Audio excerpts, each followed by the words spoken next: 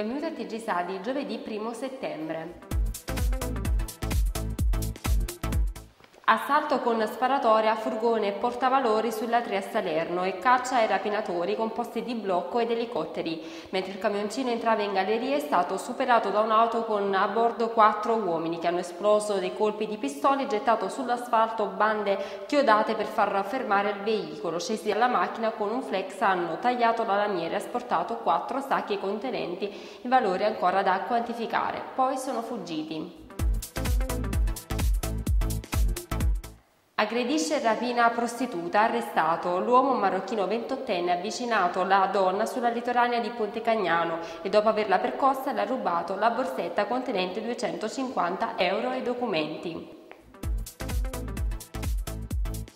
San Marzano sul Sarno, figlio aggredisce padre che gli nega i soldi per la droga. I militari sono stati chiamati dalla madre dell'uomo mentre percuoteva il genitore 63enne. In casa è stata trovata anche della marijuana.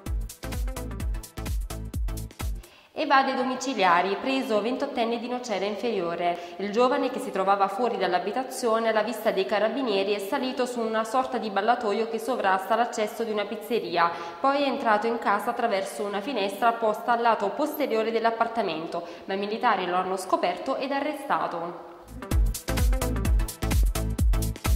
Giffoni di servizi alle poste di Curti. Il sindaco scrive al prefetto questa mattina gli uffici postali della località picentina sono rimasti chiusi senza preavviso, generando tensioni tra i residenti della zona. CSTP Sant'Occhio sperimenteremo la figura dell'agente unico a bordo. Tale provvedimento spiega intende contrastare l'evasione di biglietti inducendo i viaggiatori a dotarsene prima di salire a bordo per evitare di pagare una maggiorazione.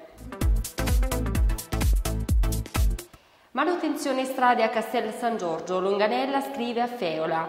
Il primo cittadino fa appello all'assessore provinciale per trovare una soluzione che migliori il servizio di taglio dell'erba ai cigli delle strade provinciali che attraversano per circa il 70% il territorio comunale.